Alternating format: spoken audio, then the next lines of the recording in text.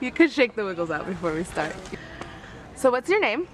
Gabriel, What grade are you in, Gabriel? fifth grade. Cool. If you could meet anyone from history, who would it be and why? Huh.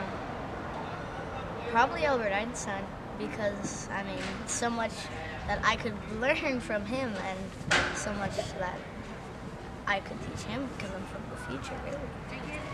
Best invention of all time. Cars. Cars. What do you think the future will be like? Um flying cars. What technology do you think we should invent? Huh. Um a faster way to generate food. If you could be an animal, which one would you be? Meerkat. Why?